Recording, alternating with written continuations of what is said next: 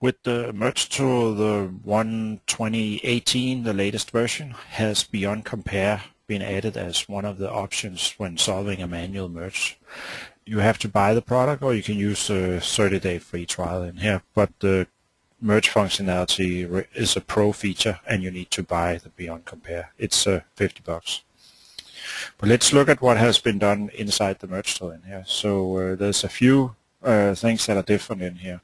First of all, there's an external merge name and that's where you have to put in the name that is actually the one you're using in here.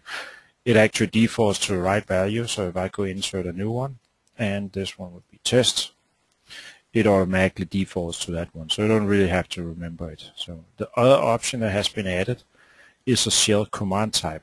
It can now use Windows scripting host and that means if you have the service tier and Rotor client on the same computer, everything actually works the same way because the path to get to files is the same for all of them. Of course you need to have permissions also, but run the service tier as the same user as you're using, then you don't have a problem. Then you can connect to a remote database and actually use the Rotor client for everything in the merge tool. But I want to show the Beyond Compare feature in here. So uh, I've uh, went in here, I've changed my setup. So I actually just want to uh, use this version in here. So I'll go here and uh, start my merge. Now I already set everything up here, so I'll just click OK. And as it hits the first object, this one is where I have to combine stuff and let's see that's probably easier in another tool in here. So I hit cancel, I'll use external merge it now fires up Beyond Compare with the complete objects in here. And uh, I can then go and say, okay, find the next conflict, and that's the one down here.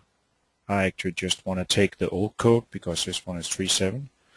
Next conflict, I had none. So, okay, I can go close this one, save the output, and keep on going. This one again, yeah, I can solve that better maybe in an external merge in here. So uh, I'll go find the next one.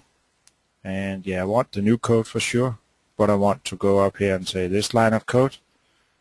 I want to copy that.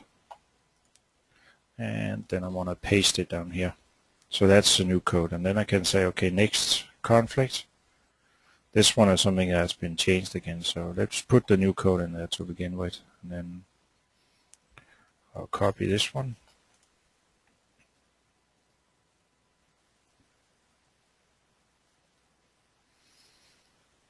Go to the next one. It's the same. So I'm actually going to to this one. This one is actually one of the very nice things about Beyond Compare. It found out that I changed the same pattern so it actually did that here the third time for me automatically. In here. So all I have to do is close it again. And it now go on and uh, do the merge. And of course these ones, some of them are easier to do inside the merge tool. And I'll just click, yep, that's okay. Keep on going. Um, or I can go use uh, Beyond Compare for the task that I actually want, uh, that I have task was in here. So this one is, yeah, I added a parameter in here and I'll go add those ones in the strings and so on. But but that's basically how uh, the new feature works.